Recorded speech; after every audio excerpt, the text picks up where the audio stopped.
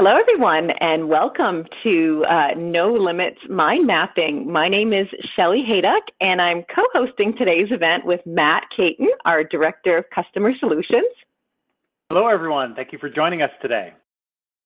Today's session is all about creating a all encompassing mind map that really becomes part of your digital identity. So we're going to cover a lot in terms of where we fit in, if the brain is actually a mind map, and how to create a limitless uh, digital place for all your thinking and information. So we're going to start off with talking about links, connections, but as well as data sources um, because the brain and um, our ability to mind map isn't just for ideas, it's also for information. But before we get started, we're just going to do a little bit of background um, on uh, what mind mapping is and, and, how the brain may or may not fit into that.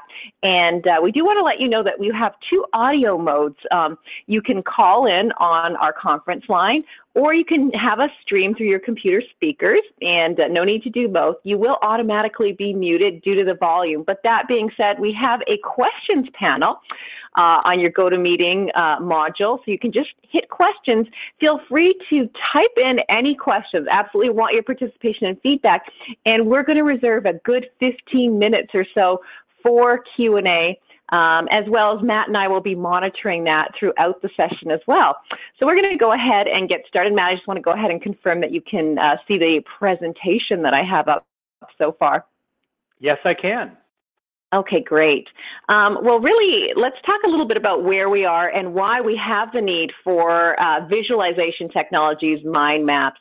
Um, what we find is that current user interfaces are too linear for expressing uh, associative human thought. Um, you're basically drilling up and down a directory, and you might think, well, is this just li- uh, limited to Windows or my Mac machine? But no, not really. It's kind of interesting because even our clouding solutions, Google Docs, um, Box.net, Dropbox, they all have that same uh, file folder hierarchy, which is fine for sharing a few simple documents. But if you want to show complex relationships or provide yourself or people you're sharing information with a more sophisticated view of kind of how everything fits together, um, you're really not going to do it by a gigantic, gigantic fi- uh, filing uh, folder system in the cloud or on your desktop.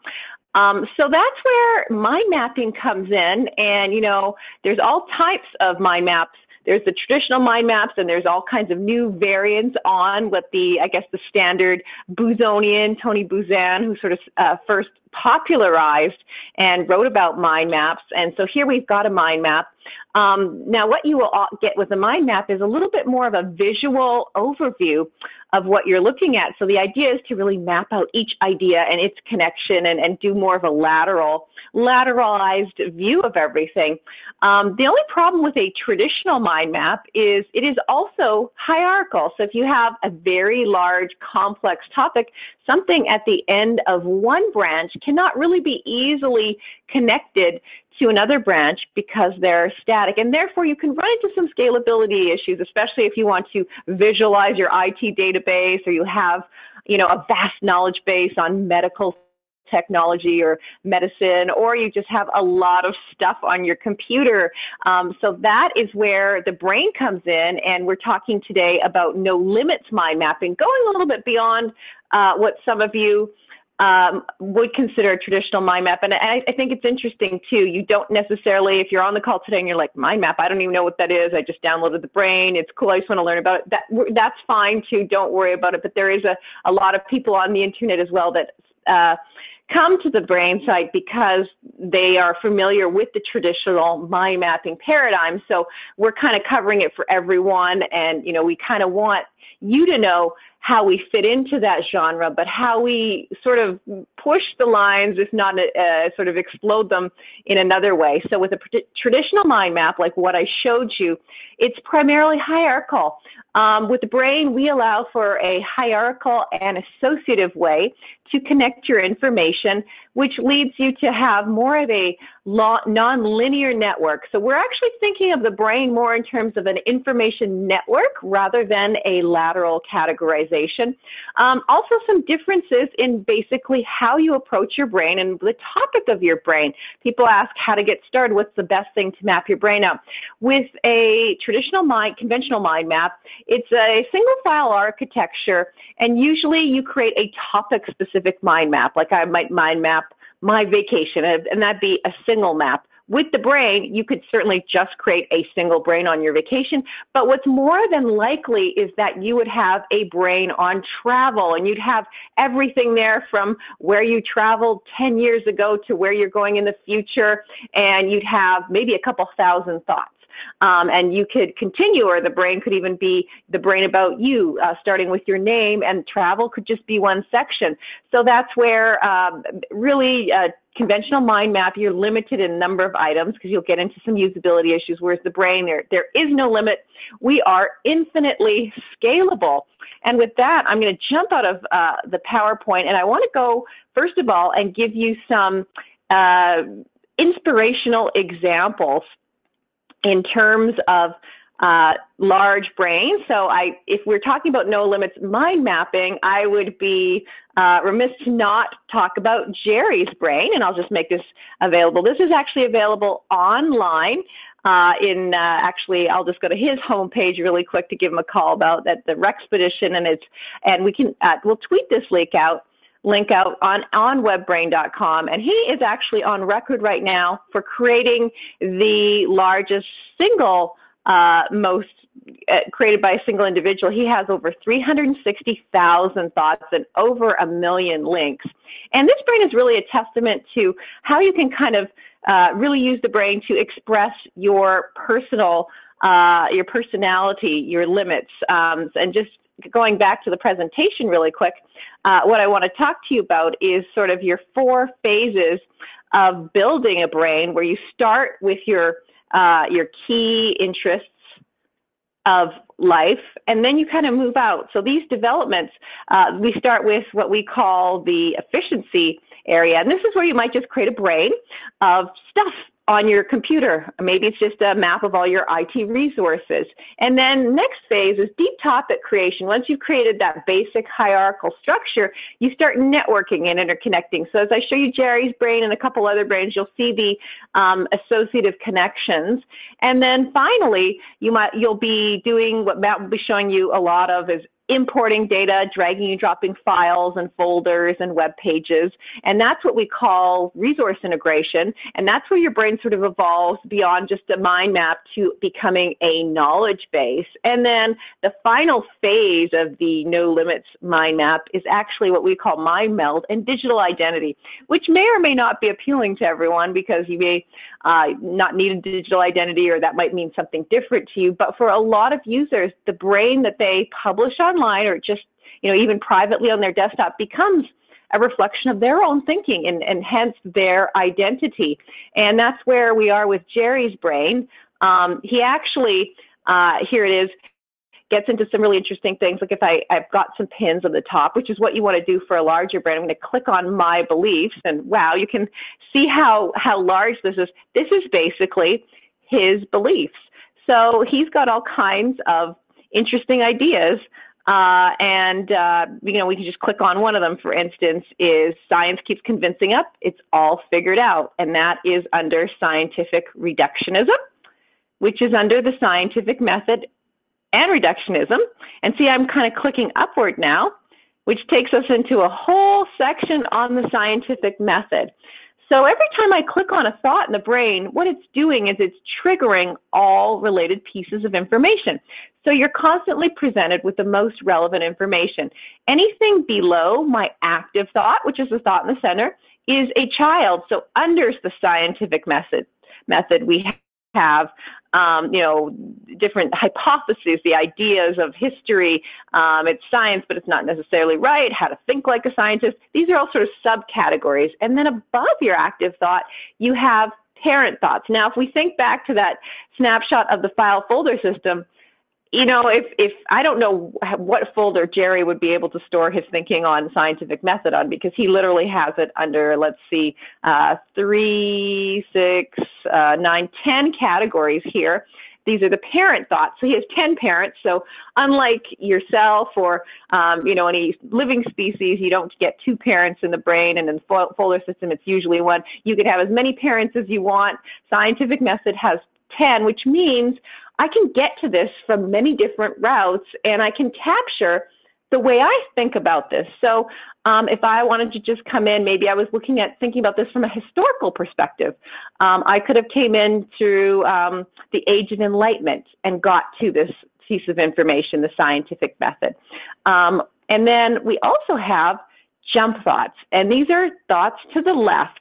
And they're thoughts that are related, but not necessarily a subcategory. So over here, uh, we've got some interesting stuff that he has as a jump, which is also interesting. And again, you really get a sense of how Jerry's thinking here. Uh, spirituality. So we can jump from the scientific mes- method into spirituality. And now we're looking at sort of his uh, more spiritual uh, beliefs, and he has that under faith and, and personal growth and transcendence and all kinds of things, and also a category that a lot of people like in his brain, which is words I love. And, and it just goes on and on. And, and the other interesting thing about the brain is you can see that um, because it clicks and moves, um, you don't have to load everything at once. So I'm not seeing all 360,000 thoughts of Jerry's brain on the screen at once. Um, we do have other views if you want to see, you know, more expanded views, and, and we'll get into that as well. But what this offers is a way to continue to traverse associatively in a very large information network um, so that's an example of a, a, more personal brain, and actually I'll end on his personal thought, where he's got everything from his big issues to his fun and funny to his vehicles, even useful stuff, and very personal messages. And um, you know, he shared this online. Some people do this, and certainly, and a lot of people don't. And we'll we'll tweet this link out, and Matt can also put the link in the in the Q and A uh, for you all if you want to navigate this. But as you're building your brain, as I imagine we have um, probably three different types of, of users, uh, possibly quite a bit more on this call. Um, one of them is brand new users. You're probably thinking, whoa, this is overwhelming, but don't worry, it doesn't have to start this way. But secondly, we have users who've started, but they're like, I'm looking for more ideas. I want to beef up my brain. So I totally recommend this brain as an example where, you know, it's a lot and you don't have to have, you know, 50 different child thoughts on every topic in your brain as he does, but it will give you some really cool ideas. Um, you know, you might because you, you, might have your brain. You thought, oh, I never thought about putting my beliefs in my brain, or uh, words I love, or just you know what I'm doing. You know, this weekend, my personal to-do list. So this is this is going to maybe get your cre- creative juice flowing, and that's what we want to do. And and uh, do chat in any ideas or questions on, you know, if you're having issues on what to create to, to enlarge your brain. Uh, we'll try and cover that.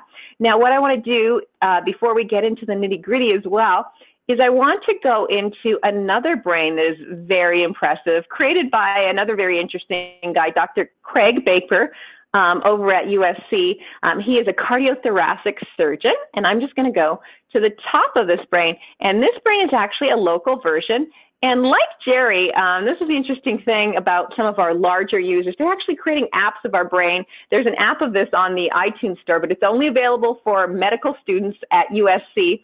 Uh, and and the Joint Council of Cardiothoracic Surgery. And then Jerry's Brain is available for everyone viewing for free online. He also sells a uh, iPhone version of it, which is amazing for 99 cents on the App Store. So you can support Jerry by getting his brain on your iPhone, um, which is which is really quite fun as well.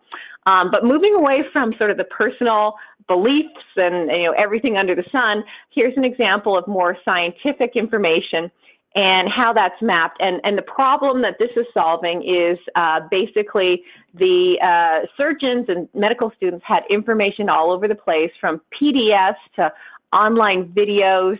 Um, and it was very hard to put together a curriculum that um, represented all the information. So this brain is very large, uh, well over a thousand items as well, but it's a, it's a little bit more of a disciplined approach. So I wanted to show you this brain so you could see that, you know, you can have a large, broad uh, uh, depth of categorization structure at the top, or you can go a little bit more um, you know, simple, but still have, you know, a ton of stuff in here. So you can see they've just got the four primary thoughts here. Um, and then from there, you know, I can kind of click and I've got my core surgical foundation. And from there, I can go into core surgical skills. And that's pretty interesting. And they've got all kinds of stuff linked. So, for instance, if I want to go into um, management and operation, I can again, I get the sense again, I can see that one topic is under many different areas. So, this is general critical care, and I can click on that. And here you can see the brain's really going to link to all kinds of information. So, I've got links to textbooks, uh, online articles, uh, even if I launch, I, I, can go even to journals here. So here's a link to a journal, and of course I don't have access to that journal. Um, an online textbook as well, and even YouTube videos. And you can actually, they are using our the brain's tags and types. You can actually go in and they've actually created different types for their information, which is really quite interesting as well. So if I actually want to go and just see, um, they've got, for instance, all videos. If I'm a video learner and I want to just get a go to my YouTube types and maybe go to, you know, how to do some sort of uh, surgery, because there's a lot of information online, I can actually click on that thought and move to that area and launch that video. Um, and this, they have a, an app for it, and we don't have to actually go looking into how to do the surgery. But this is just an example of how you can move very quickly and efficiently through a large knowledge set uh, with the brain. And again, we've got the children below, uh, the parent above, and then I didn't get into this for the new users on the call, but to the right, we actually have the uh, siblings' thoughts that share the same parent. So that's another example of uh, no limits uh, brain. And then um, what we're going to do is move to a more typical brain example and how you would get started. And that's the my brain. And, you know, in a no limits brain, what you'd have, what a lot of people are doing typically is they're starting with their name um, and then creating sections for both business and personal. So here under my brain, I've got my business. And then what you want to do is start sort of mapping out all the key categories um, that you have. And then you can also have a personal section. And this can get very big and fun. And this is where you can really geek out with all your hobbies, anything from, you know, health and fitness all the way to, you know, the music you love. And here's a thought on, you know, pre- latest preoccupations. So just, you know, whatever that is um, books you love, this kind of thing. Personal finance, this is a great area um, for those of you that are doing things for, you know, retirement savings or you want to track all your investments. Um, this brain, again, has it all. So your brain, in essence, could be one brain for everything. And that's what we're talking about today, sort of the one brain that rules them all. And we'll also cover how to import brains, or you can have the deep ginormous topic oriented brain like the uh, Joint Council on Cardiothoracic Surgery. That's all about heart surgery. It's, it's actually very incredible. Now, one of the things in terms of a large brain that we're seeing is that you always want to have your pins. And what a pin is, is it's a uh, just a, a link that sits on the top of your brain so you can get to an area fast. So if I was always going into travel and vacation, summer's coming up, I simply right click on that thought and I can go ahead and just create a pin. So if I want to go ahead and do that, I can do that, and that is right here in the menu. So I select Create Pin, and now I've got that pin, and this sort of, this area at the top is my digital dashboard. So wherever I am, um, you know, top of my mind, maybe I'm looking at my competitors, I can always go get to travel and vacation really quickly. Or this, I usually use this as my to-do list, like opening a new office in Asia something we're working on. So here we go. I've got this whole area right here ready to go. Now I can easily remove a pin if I don't need to know what's going on with this particular person. I don't want to forget the thought, but I can just select to remove the pin. So this is kind of a nice strategy um, as you get things done or your workload changes, just select to remove the pin. And again, I'm not deleting or adding thoughts. That's, you know, we can certainly do that, but this is just focusing on pins and, and creating that space. Now, for a larger brain, in addition to your pins, you're all you're going to be using your instant activate a lot on your desktop or online. And this is that's that search box here. So all I have to do is start typing in the first couple letters. So for instance, I'm just going to type in for fun HW, HAW, Hawaii. Okay, you know, uh, and then I can just click on Hawaii and I'm moved into my section on dive sites and dive locations. So um, it's really kind of nice to just be able to instantly activate the area. And by the same token, maybe my client, uh, let's see, uh, an educational client calls me and I need to move really quickly to an educational area. I can click on that and move that, or my client Red Cross gives me a call. So I just start, start typing in red and I've moved to that area as well. So you can actually switch views very quickly. And, and a large brain is very good for um, people who need to shift focus quickly because of the search, uh, the instant activate as we call it. So as, as quickly as we're on Red Red Cross, if I I want to, I know Fred Baxter is the guy that um, you know has a lot of knowledge on client management. I just type in Fred, and you know there he is, and I can just click on him, and boom, I can see you know what he's up to, and I have notes on what he's doing, and so on.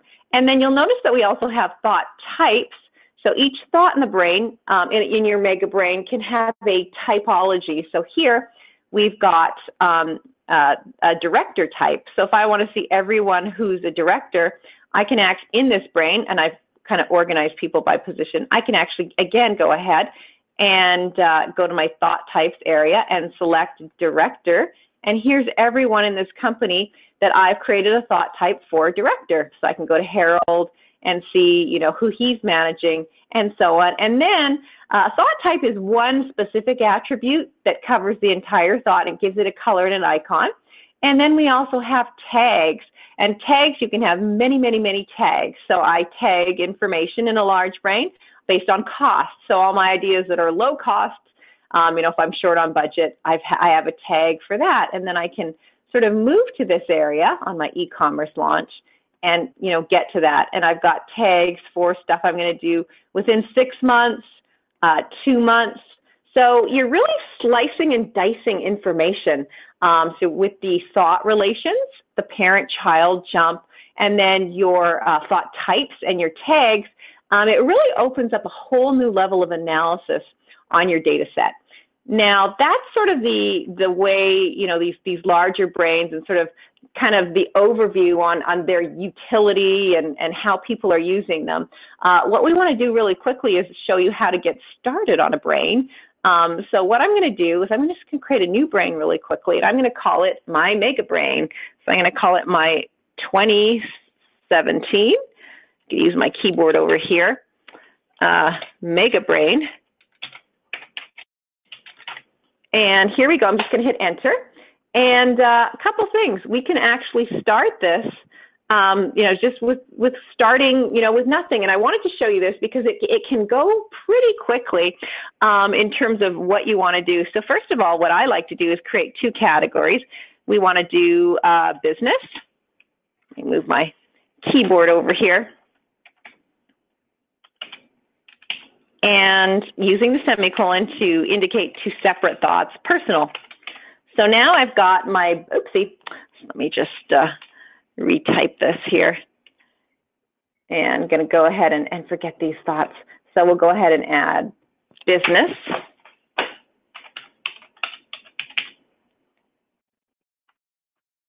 And personal. And you can come in here and, you know, adjust your thoughts. And then from here, we can actually go ahead and add all kinds of other topics. So if I have uh, key departments that I want to add in my company, um, I can go in here and continue to sort of map this out. So if I want to do, for instance, uh, marketing, sales, customer service, I've added those. And now I'm sort of building a foundation. And uh, what I can do is I'm going to create another thought over here for team. Is I can start to make connections too. So if I have uh, Matt on my team, so let me just go ahead and add Matt. I can then connect Matt uh, to a different area Maybe Matt is part of my marketing team. So now what I can do is simply drag a link to make a connection. This is where you start and start typing in Matt. And there he is. And now I've linked Matt in my brain. And so that's you can kind of see, and then marketing might be important to me, might be using it a lot. So I'm going to go ahead and create a pin for marketing. So now you can see that I'm starting to kind of build the structure and the foundation. Um, and then beyond that, I can drag and drop information. So let's go over here to my desktop and I've got some folders on, uh, actually, let's go to my projects. I've got some uh, marketing research that I can add in. So I've got marketing department, I've got, you know, all kinds of things. So let me go in here to customer data. And I want to go and add uh, information on uh, maybe in my personal section on how to start a restaurant. So let me go ahead and drag and drop this in the brain. And what that does is that creates a shortcut to uh, where that file lives. And I, I can actually keep that outside of my brain. I probably want to move this into the brain because I want to sunset this folder and synchronize this brain to the cloud. So I just selected that. So now it's stored internally. When I click on that thought, I can see that it's internal. And now I can sort of begin to develop a knowledge base. So uh, I'm actually going to go up to options and search the web. And this is something that I, I, you know, use a lot as the brain as a research tool. So now I can come in and start dragging third party sources. So there's a nice article on in on, on in Entrepreneur Magazine on how to start a restaurant. So I'm simply going to drag from the browser address window and drop this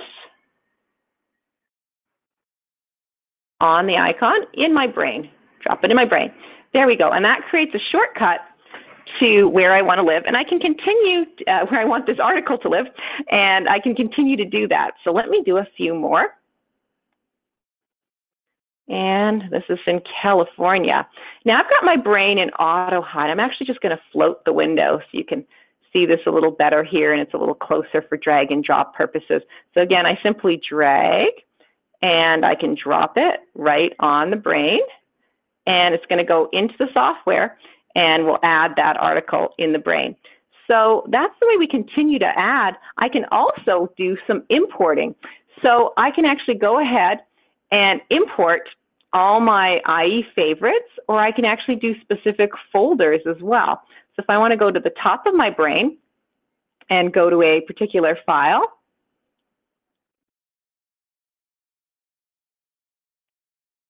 and select import, I can actually come here to my projects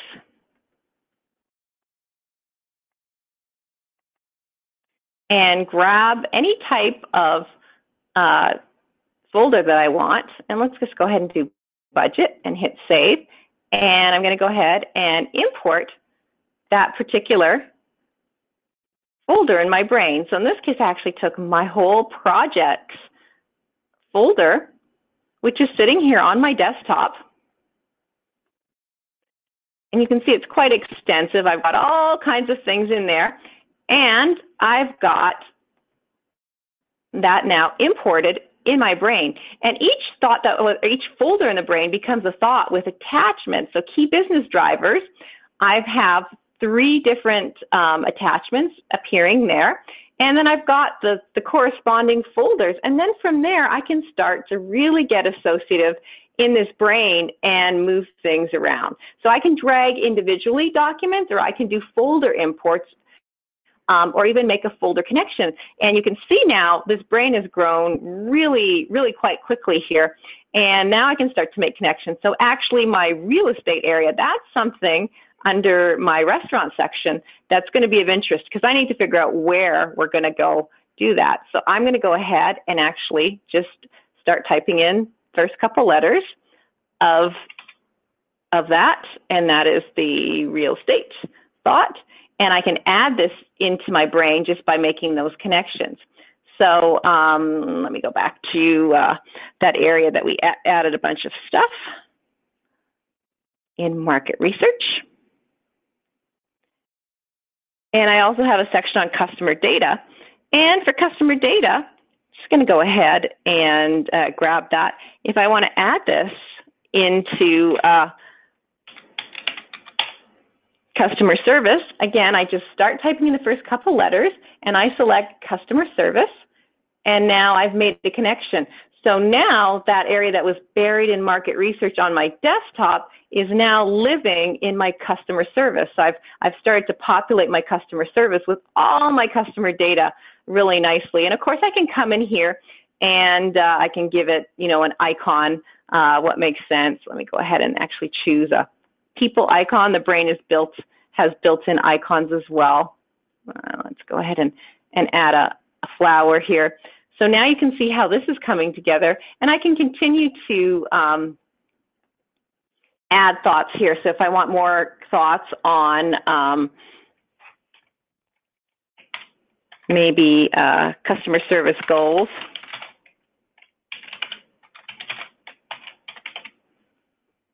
I can come in and add that and so on and so forth. And then this area starts to really grow nicely.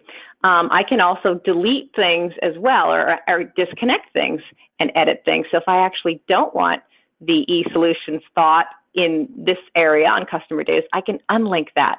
So now I've just got this section on customer data under customer service. And that's kind of the way things grow. Um, now, one final note before I pass over to Matt to do even more editing is we actually have sort of the one brain for it all, and that is in your import section in your template brains. If I go to template brains, um, this brain, one brain for it all, actually has both a business and personal section. So if you're feeling overwhelmed today, like, oh, I don't want to start creating all these thoughts from scratch, no worries whatsoever. Go into our, our templates and there's one for business. There's a brainstorm on education, IT management. And then we also have something that's interesting that if you start a basic structure like I've just done, but I want business tags and types, because I, I haven't started created creating thought types and tags, and we'll probably cover that a little later on, uh, but they're very useful. I can just select this, which I'm going to do, and hit OK. And now what it's doing is actually importing a set of uh, thought types and tags that the brain's created for you that I'm just going to use. So you can see there's all 104 created and modified. So if I go to my tags area, I've got stuff now like a high cost thought tag or hot now project. And I've also got thought types. So if I wanted, I've even got a thought type for real estate. So I can actually go back to that thought on real estate. I can actually use this thought type to come in here and thought type it. So I can go ahead and right click to thought type something just by going in now and to these built-in thought types. So this is now going to be a real estate thought. And again, I've got all kinds of thoughts. Or if retail service is more of a market, I can tag that as a market.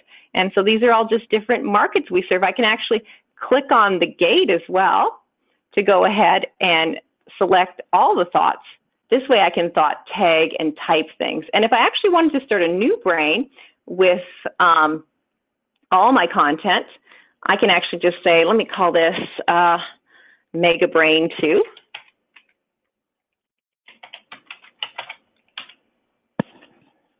Okay, and I'm going to select one brain for it all. This is actually going to do a full import of the one brain. So it'll just be a, a second or two here. And you can see my, so my Mega Brain 2, the first name of that brain. And, you know, in general, when you're creating these brains, you probably want to start with your own name. I actually have a Shelly brain. Matt has a Matt Caton brain. And that usually becomes your title and your main thought, and you're creating thoughts beyond that. Um, but in this case, because I have brains with that name, we have the Mega Brain 2. And what it's doing is it's just uploading uh, all the content uh, from the templates and putting it all into a pre-built packaged brain for me. So even though it might take a second or two, it's actually taking just a little bit longer because of the web connection. Here we are. And so this is what the, the template brain looks like, sort of your one brain for everything, where you've got your work section and you've got all these thoughts on work and then you've also got your personal section where you've got stuff and you know if you don't want a particular section uh, you can actually come in and delete that section as well um, so if you want to hit hold control click on the gate that brings up a mass selection. So if I actually wanted to come in here and delete all these or move these, maybe this is a nice section that I want to feature, um, you know, I can do that. So let me just come over here and I'll call this, um, create a new area called my faves, my favorite thoughts. And then I can come here and I've got these thoughts selected and I can right click and I'm just going to link them as children under my face. So then they're, they're linked here as well. So you can get into a lot of mass selecting. And likewise, if you don't like certain things in this brain, if you don't want a section on, uh, for instance, let's go back to business. Maybe you don't want this section at all on uh, marketing. I can just come in here and again, just control click on that gate. And then I can even control click on marketing and I'll move back to work. And what I'm going to do is right click and I'm actually going to forget that entire section. So now that's gone. So you can see when I go back to my work, um, that is gone. I don't have that. And I can also change thought name. So if I want to call my work um, the business name, let's just say business or whatever your business is, let's give it a, a real name. We'll say it's, uh, sorry, just get, go back to this area here. Joe's Seafood. You can see that, or we've got that now changed. And of course I can go ahead and, and change the, the icon as well. If I want to go ahead and adjust the icon, I can do that. And that's really the, you know, the foundations for uh, going and kind of getting started and building a brain. And whether you start with a template or your own brain, you can see how it grows and expands. And sort of taking that to the next level, I'm going to pass things over to you, Matt, um, so you can cover a little bit more on importing and, and how we differ from the conventional mind maps. Fantastic, great. I've got a couple of different examples to share with you today. So uh, first, I have my own personal brain open. So uh, this is my brain that I use on a daily basis. I keep track of all my my friends, my family, my my hobbies and interests. Um, and you can see, I just wanted to open up the reports, share a couple of features with you. Um, I like to segment my brains out into topic specific brains. So I've got work related brains, project related brains that I'm working on, um, all my recreational information is kept in this particular brain. So I probably have uh, five or six brains that I jump in and out of on a daily basis. And all of them are anywhere between, you can see this one is 3,000 thoughts. I'm looking down in the reports now. So I have 3,000 thoughts, a little over in this particular brain. I've got another brain with 5,000 and another one with 10,000. So um, but those have a lot of proprietary pieces of information in them. So I can't open those, but I can open this and, and share this. These are just my own hobbies and interests. And when you continue to grow and evolve your brain, it's important to note that you can always go down to the reports. And if you're looking for a particular item in a very large brain, this is a question that we get from time to time like, oh, as my brain continues to grow and evolve, will I start losing track of things, of where things are? You never will for a couple of reasons. Number one, you built the brain. It's a reflection of your own organic uh, onboard brain. So I know exactly where my information, if I'm looking up information about my cars, I'm going to go into my land thought. Land is broken down into hobbies and interests. And I've got all my information about fixing up old cars and things like that in that area of my brain. I know right where to go. But also you've got a very powerful search that comes along with the brain. So I can just search on any word. Everything is being indexed from the thought names to the file attachments to web links. Every uh, piece of uh, text that goes into your brain is indexed and is searchable. But also we've got these great reports. So you can see my reports is an alphabetical list of uh, well over 3,000 thoughts in my brain. So I can scroll down and go to red wing fly rods, which falls under fly fishing, under fishing, recreation, etc. So a lot of different areas to go in your brain and easy ways to get there uh, in these very large brains using the reports. But I can also filter my reports. I can say, all right, show me all thought types uh, that are of a particular type. So here's all my VW thought types. Um, or I can say all thoughts with an, an attachment that has a URL. And so these are all my thoughts in my brain that have a specific web attachment associated with them. So a lot of filtering, a lot that you can do with the reports and with your search in these very, very large brains that you create. And I'm going to create a new brain from scratch just to show you how quickly, I know Shelly just used a template. I'm going to use a different template. Specifically, someone asked about the business template. So let's go ahead and follow that lead. I'm going to click on File, New Brain, and I'm going to create a new business brain. I'm going to use one of the brain templates. So this is the first example of the type of importing that you can do into a brain that you create. Even before the brain is started, I'm selecting from one of our pre-built templates, and I'll simply call this Matt Caton. So that's me, and this is my new business brain. Again, it's going to take just a moment to upload all those, uh, that multitude of different thoughts and existing thought types and tags. Template brains are really great if you're just getting started with the brain. It's a fantastic way to uh, sort of use uh, or create a sandbox to play around to get familiar with the technology. Or, as Shelly said, use this as the seed for your own starting brain. Delete what you don't need, add to areas where you do need them, or even change the uh, um, uh, the different thought names. These are some very basic. I like to refer to them as, as sort of you know van, a vanilla business. There's not much to it. It's just placeholders for your different um, uh, departments and projects and clients, et cetera. Um, it's up to you to go in and actually add your client names and your projects into uh, into the brain. And so I'm going to do that now. So I've already created my business brain. I can start adding to it. And I'm going to continue on using all of the different import capabilities in the brain to further uh, build this new mega brain of, of my business. So I'm going to be creating also a little side business called Matt's Furniture. So there's my tech business, and then there's my passion project, my side business. Now, instead of building this out thought by thought, I actually built this, constructed this brain earlier in another application. So I'm going to open up um, Laura Bloom Furniture mind map. So this is FreeMind. Some of you might be familiar with other mind mapping applications that are out there in the world today. FreeMind and um, Mind Manager comes uh, both come to mind, and both of those file types, FreeMind and Mind Manager, they can actually be imported into a brain. And the advantage to doing that is uh, there's there are several. Number one, um, I always feel that the brain has better focus. There's no way here I am in FreeMind to zoom in on a specific topic. I'm really interested in this parts shortage that's going on now. Now, of course, I can add attachments to this um, this node and and map out additional relationships.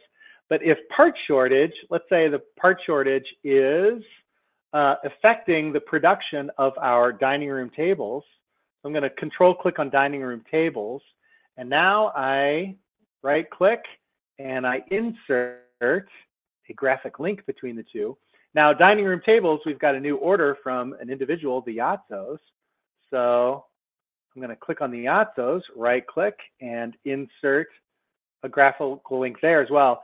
You can see I'm really going to start creating a little bit of a, a spaghetti factory here. The parts shortage is affecting many different areas um, uh, that I've mapped out here in my mind map. And let's say the parts shortage is being handled by Pat. So I'm going to connect that. He's going to be taking care of that. So I'll insert graphical link and maybe I'll go back and change that link, make it red, whatever have you at, at a later date. So I can add additional information there. But all of these cross links, when you've got something on the far, far lower right-hand corner that's linked to something on the far upper left-hand corner, um, you start getting these lines across this uh, this map, and you can see here, just with a couple of clicks, things are starting to get a little messy, and they're going to get a lot messier as I continue on evolving this mind map. So what to do? Uh, I'm going to go ahead and save these changes. I'll close that, and I'll come into the brain. So under my furniture, I've got my furniture map. I created it in another application. I'll click on File and select to import. And I'm going to import a an MM file. So I'll navigate into my C drive. And here are my different maps. And there is my Laura Bloom furniture. So it's going to take all of that content and import it here. If I had web links, if I had file attachments, if I had icons, they'll all show up here in my brain and be imported. The advantage, now you can see I can click down into, let's go into people and my customers, my individuals. Uh, there were the Yatzos. You can see the Yatzos are interested in dining room tables. Dining room tables, there's a parts shortage. So anytime I'm researching dining room tables, I know all about this parts shortage. And again, I can connect that part shortage over to Pat, who is going to be taking care of that, and add further information and even link this into other areas of my business brain. Maybe over in my business brain, um, I'm going to be working on some clients or some marketing. And for my marketing in my technical business, it's somehow going to be related back into maybe I'm going to use my furniture business as a marketing tool, how my furniture business benefits from this technical product that I'm building. So uh, for marketing, I'll link that over to my Laura Bloom furniture. So you can see I'm starting to connect all of this existing information and existing relationships within my brain without the clutter, without all the, the cross-linking that uh, would take place in that mind map file, that, that FreeMind file. It's more focused and visualized here. Now, in the brain, you do have the option of seeing the bigger picture. So that's the next step that sometimes people come to when they look at the brain in comparison to other mind mapping uh, projects. Is in mind mapping project, you can see, or in the uh, my particular mind map, which was FreeMind, you could see everything all at once. You can do that here in the brain as well. We're currently in the default view. So the default view is what we call normal view in the brain. You're seeing the current active thought and one generation away from the active thought. But let's uh, click down. Let's say we're reviewing the, the people that we work with here in the brain. I'm going to minimize my tool tabs down below. So I'll just click and minimize that. So I have the notes and all the tool tabs out of the way. I'm focused just right here on the people. And I'll go up to switch my view of the brain. So now I'm going to go into what we call, now I can do an outline view. I'll show you that really quickly. Again, it's a bit linear, but it allows me to get a bigger picture of my information. So I can click to expand my people. I'll click to expand Laura Bloom as well. And take a look at the pricing. So now I'm looking at individuals, uh, customers, product pricing. I'll open up my resources. You can see how the bigger the screen you have, the better real estate um, uh, you're going to have to be able to visualize this information. But once again, I've taken basically that entire mind map, that entire structure, and I'm visually visualizing everything at once. Also, when I hover over a thought, I'll either have a little plus sign to expand it. So history, I get a plus sign, meaning I can expand that or if I hover it over again, get the little minus sign. That's the collapse button. So I'm not deleting anything by clicking on the minus sign. I'm simply collapsing that from the view. So this is called um, this is called our outline view. And up here in view, I can also go into a new expanded view. An expanded view is a lot of fun because I get to decide specifically where I want each thought to go. Notice I'm, I'm going to click on catalog. Below catalog, we call that the anchor. It's a sort of a clear button. And as soon as I click and move it, notice it turns solid underneath catalog. That's telling me it's anchored. So if I move a connected thought, it doesn't move catalog. Catalog is anchored in place. If I undo the anchor, then it's going to follow its closely, most closely related thought. So I can really decide where I want my content to go. And again, from time to time, expand and start seeing those cross relationships in my brain. So you can really, once again, depending on the screen real estate you have, get the big picture of a particular project that you're working on. Now, I'm going to move forward with some more imports. uh, we've got many different import types to share. I won't be able to share them all today, but I want to show you a variety. I'm going to go back to my normal view. And also under uh, Laura Bloom Furniture, I'm going to make an area for my research. I just clicked and dragged marketing down. Let me move that back. There we go. There we go, research.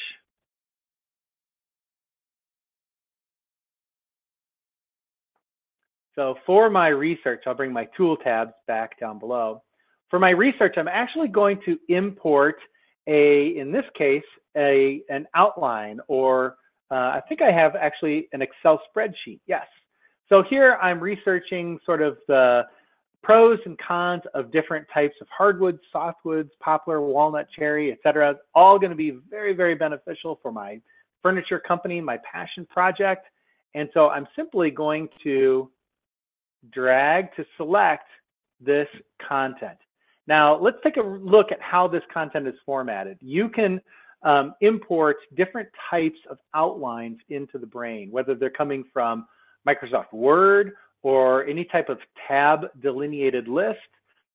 Um, if you can uh, convert your content, whatever content you have, maybe you've got a CVS file, maybe you've got uh, some type of uh, SQL database. But if you can convert that to a tab delineated structure, as you see here, so you can see wood spe species qualifications.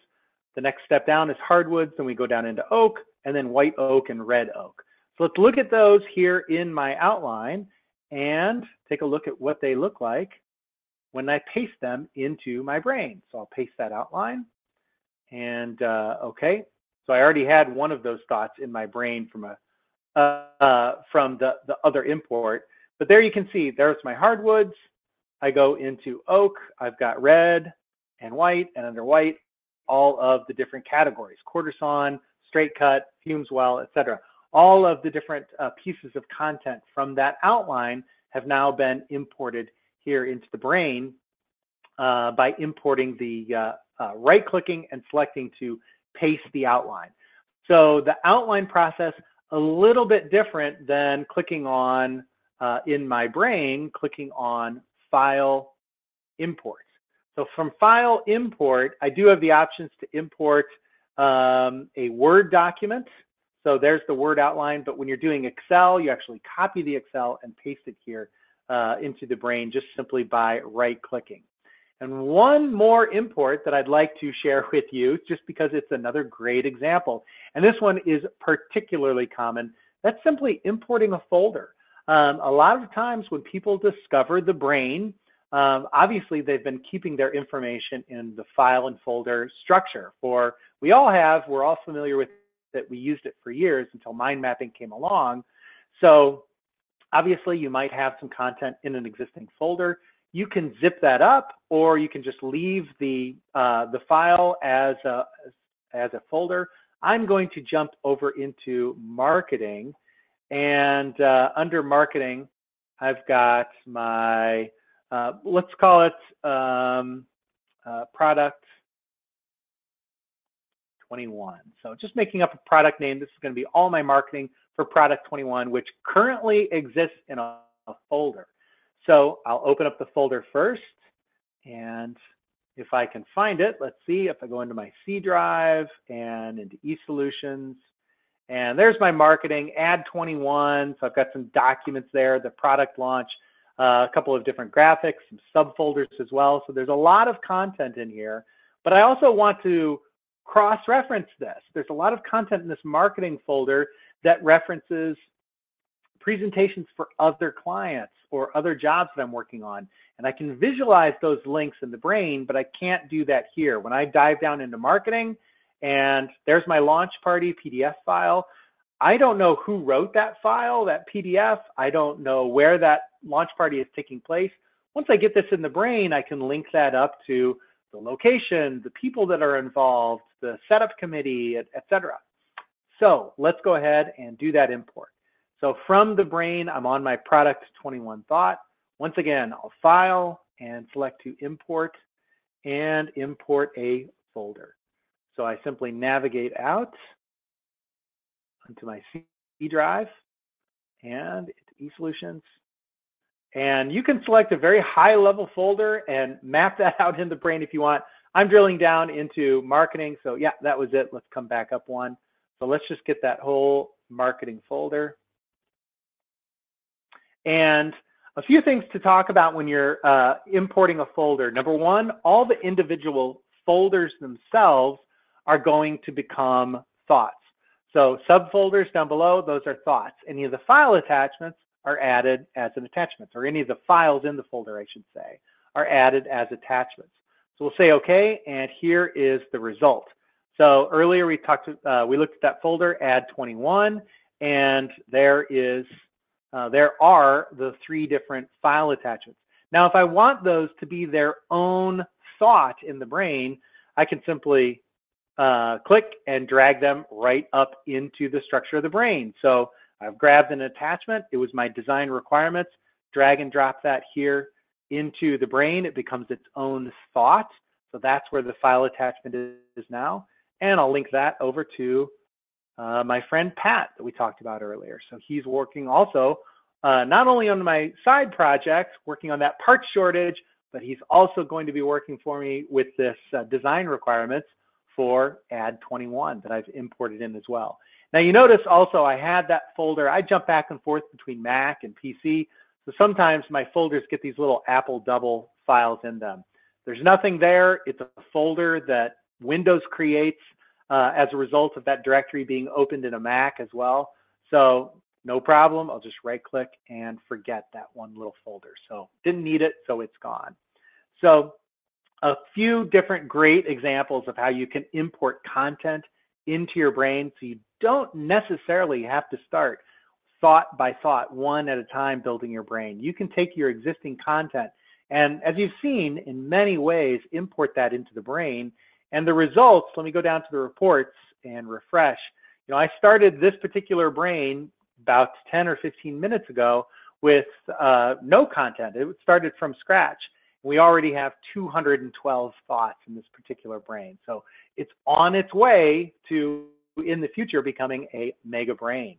And the final component that I wanted to share with you today, since uh, Shelly started with talking about Jerry's brain, which is available online. Let's go full circle. Let's put this brain online as well. I'm going to take the brain that I've created today and sync this to the cloud. So you can see it's never been synced.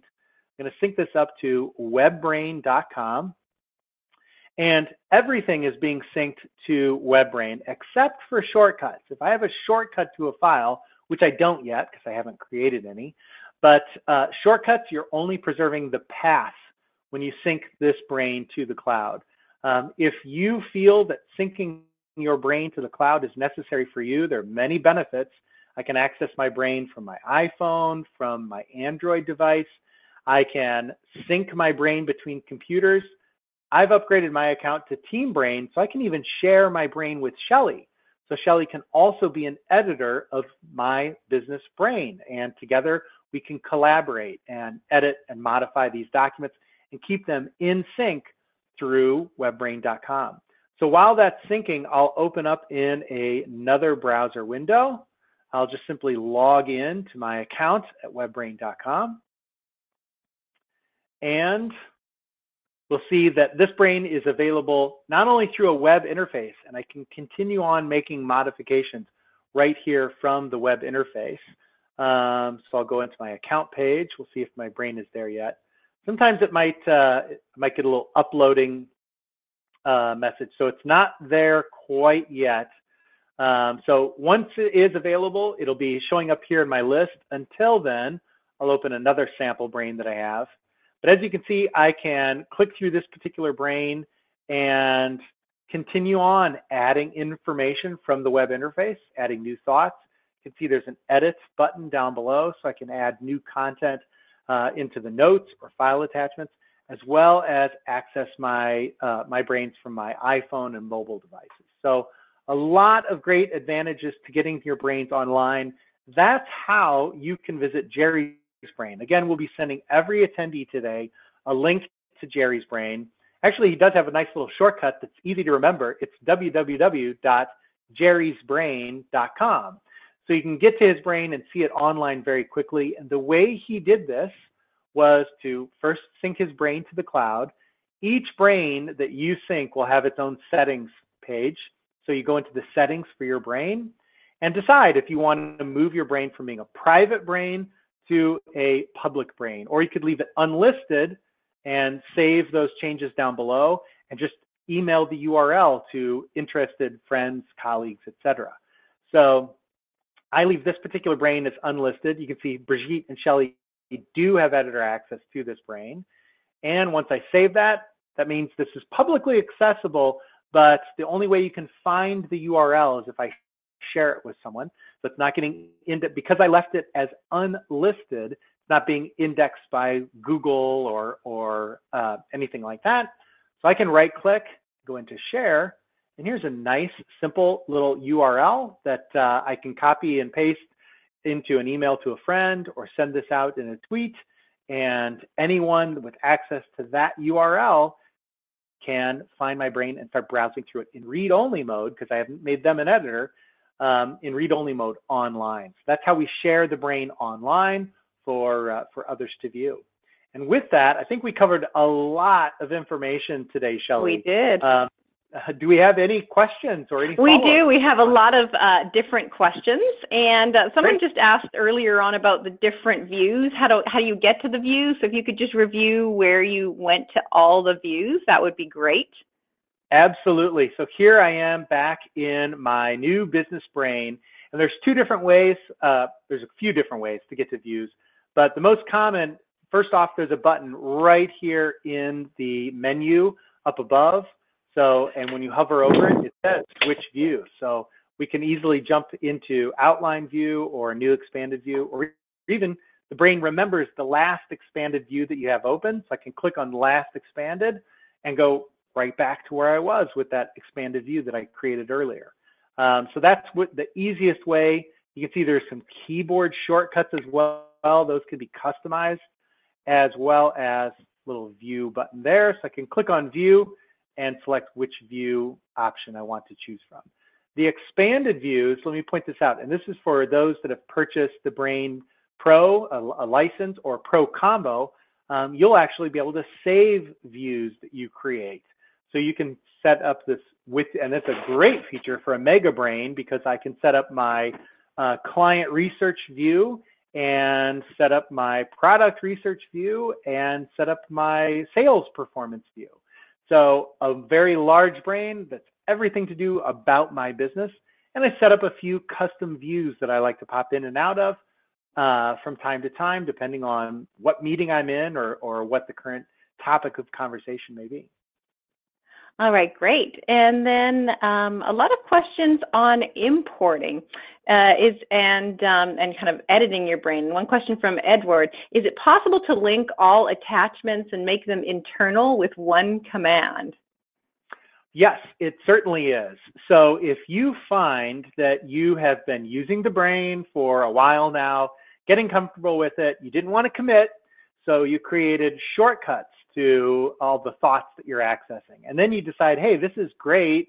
I can use my brain online and from my mobile devices, but all of those shortcuts, and I have so many, there's a couple of different tricks to share with you. First, you can review your shortcuts. So let's go down to reports.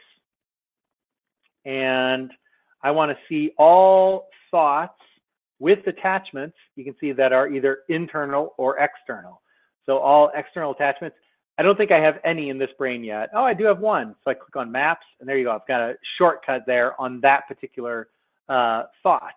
So I can review that shortcut in my, in my list, or I can go up to file and down into utilities.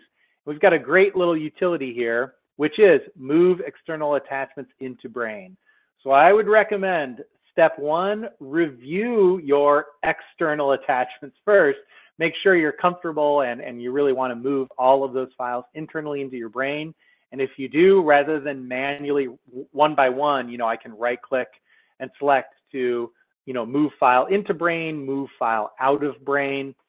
Rather than doing that manually, just run that report. File, down to utilities, and then move external attachments into brain. So I'll take all those shortcuts and move them internally into your brain one more sync, and now I've got online access. All right, great. And a question from Donna. How can I copy thoughts from one brain to another? And that's where we can cover copying and also maybe people want have a bunch of brains and they want to import them together. So copying sure. from one brain to the other and importing brains. Sure, sure. So um, let's go ahead and just take the current thought that I'm on. Let's say from this uh, marketing of product 21, let's say I've got another brain uh, that I am putting together and I from that brain need to reference everything that I did with my uh, product 21 marketing. So I'm just going to right click on marketing. Well, product 21 is a more unique name. So I'll right click on product 21 and select to copy local thought URL. So I click on copy local thought URL, jump into my other brain, and let's say this is sort of a network map, but I'm looking at an application, CRM apps, uh, Act, and I want a little uh, jump thought from here to everything that I'm doing with Act. Maybe there's some uh, references to um, different customers that promote different products, etc. And I'm constantly reminding them, well, here's what we did with this product, so you should know about uh, that as well.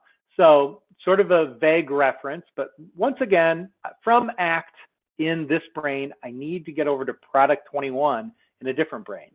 I copy that URL shortcut, so I right click and select to paste thought URL. Sort of an obscure link, so I want to bring it over here over as a jump thought. Now what's going to happen when I click on this jump thought? It's going to close my current brain going to open my uh, my Matt Caton brain and take me directly to the marketing or the product 21 thought. So that was done again just by right clicking and selecting to copy local thought URL. So you're linking uh, to a specific thought in another brain. And the other option is to actually import. Let's say everything about this brain is fantastic. I want to import it into another brain, or I want to import another brain into this one. That is an easy process as well. I would click on File and select to merge brain. So now I navigate over to find the brain I want to merge with. I'm trying to find a small brain, so it's uh, I'll grab my ideas. I'm not sure what's in my ideas, but uh, what it's going to do is it's going to first go out to my ideas, copy everything. It just did that. And then it's going to paste into uh, this particular brain. It did that very quickly. You may not have seen everything that happened.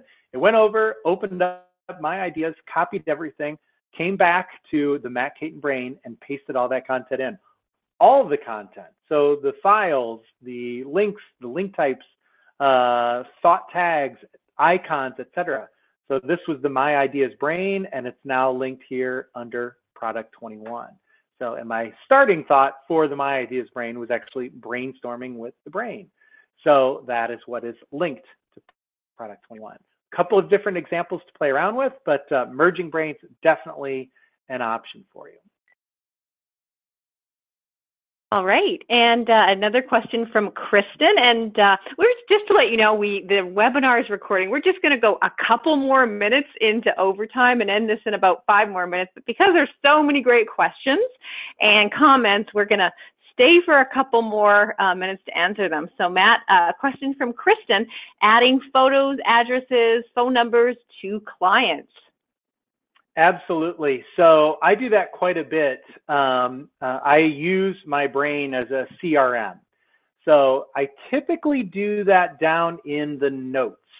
So if I have a client, um, customer service, there's my clients, new client acquisition, and here is Laura Miller. So I typically like to copy and paste into the notes. Uh, that way it's really easy for me to find on my iPhone from other devices. It's right there in front of me. Um, uh, as far as a picture, if you have a picture of Laura Miller, you can actually copy that. It's like I want to be able to remember what Laura Miller looks like next time I see her. I can go into, let's see, I should have some pictures here on my C drive. Let's say she's a graphic artist. I've got some wallpaper and here's some of the arts that uh, that she does. I'm going to right click and copy that image and right click and paste. Uh, paste thought icon. So now when I hover over, it actually expands that image. Um, so you can do that with people, you can do that with products, uh, you can do that with how-to guides. I see a lot of sample brains that people share with me from time to time. And quite often the instructions say, you know, take chord Z and insert into slot W. And it's really a lot better just to see that in a diagram. Um, so they have how-to pictures in uh, as thought added as icons, attachment for thoughts, and it makes it a nice visual display. So images, people. Um, I do have a lot of people images in my uh, my work brain and my personal brain, but most importantly, I keep all of their contact information in the notes. So of course, I would just say, uh, put Laura's email here, l at uh, miller.com,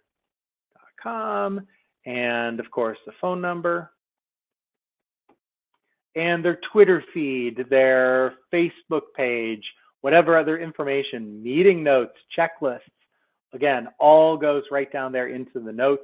And when I'm on a phone conference with a particular client or uh, with a, a brain user or even a colleague, I'll have their thought open in my brain. So if they mention a really great idea or if they assign me a project, I can keep track of that information right there in my notes. So my brain is always open, even when I'm on the phone, meetings, conferences, and everything goes right into the notes. And that, of course, includes people and contact information.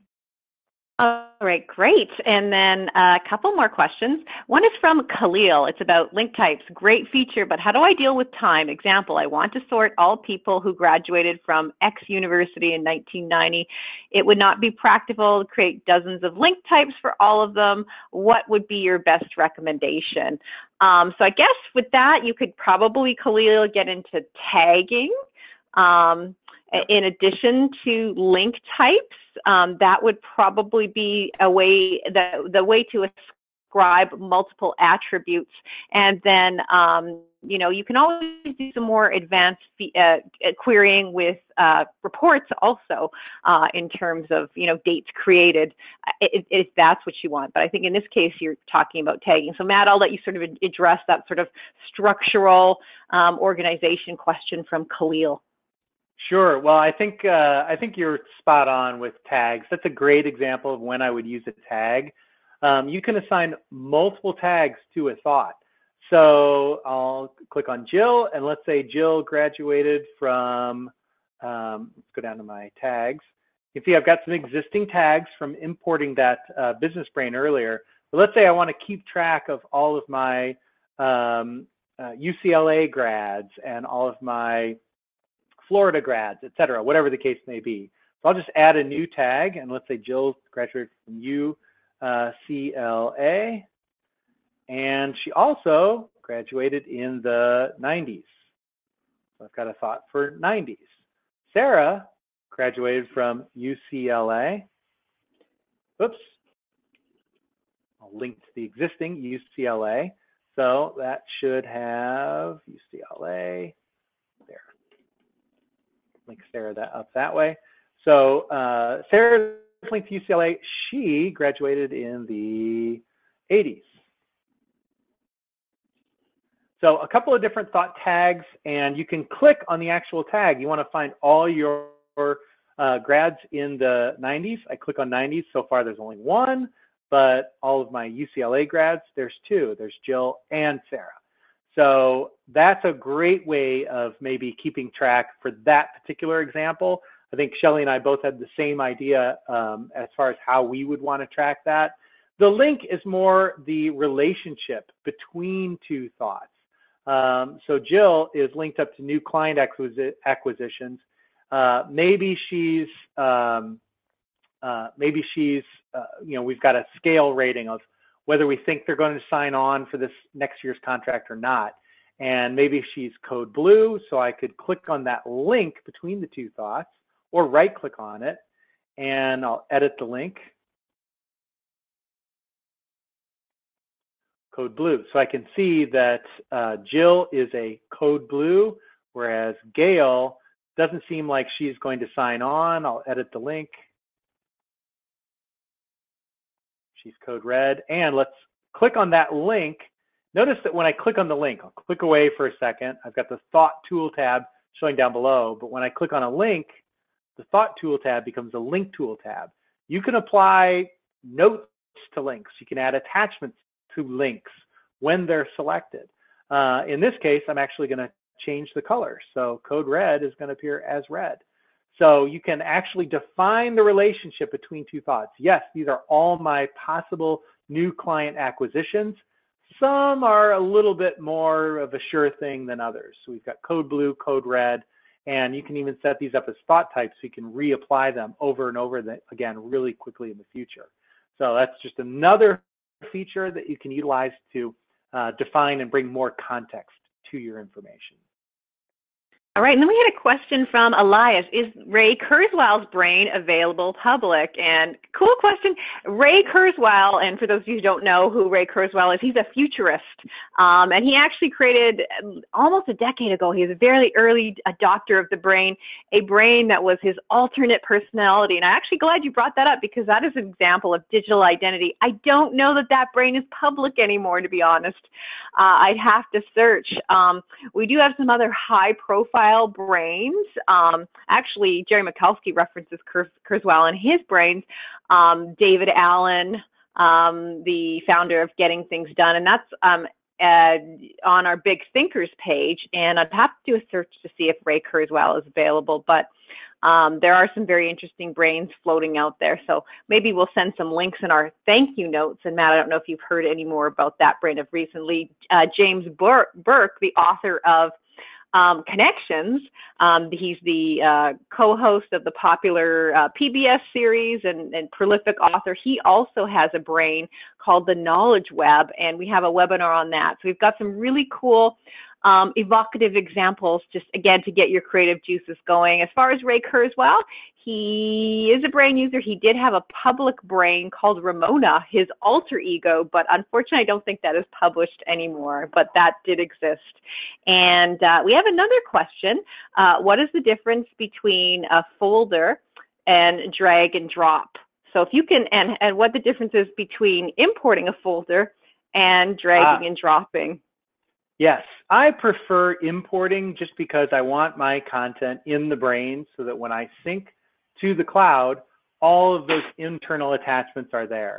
Um, if I just link to a folder and then sync to the brain, uh, or sync the brain to the brain cloud, when I access my brain from my iPhone, when I sync that uh, that brain to another device, uh, such as my my MacBook at home or um, or my traveling laptop, I won't have access. That'll be, I'll have basically a link to, and you can see I can drag and drop a folder right into the brain. Um, so here's a folder on my desktop. I'll drag and drop that. And great, I've got a link back over to this documents folder here on my desktop. What happens when I sync this to the cloud and access it from another machine? That other machine is going to say, all right, open the documents folder located at C users Matt Caton desktop it's probably not going to be there. It certainly isn't there from the cloud server. Uh, so it probably won't be there from my other devices. Um, you can also turn on a visualization so I can visualize this folder. We call those virtual thoughts. And you do that in, uh, if you go up to your options, preferences, and under your UI setting, you can actually turn on show virtual thoughts.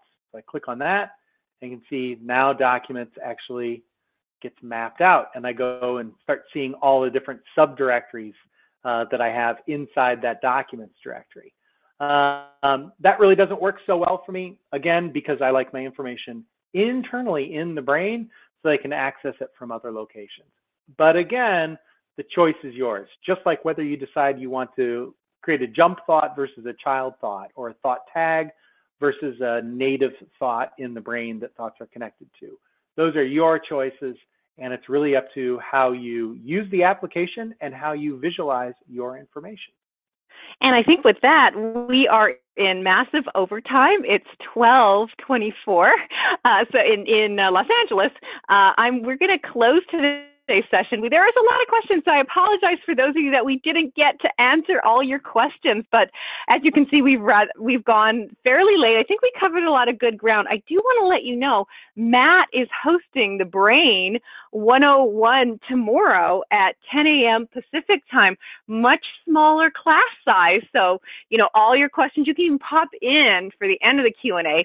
Um, we can also just email support or reply to the GoToMeeting address, and we'll answer any questions questions. We have free support to all users. But I think we're going to wrap things up. But Matt, before we do, any final words of wisdoms or anything that you you saw that you kind of want to perhaps cover?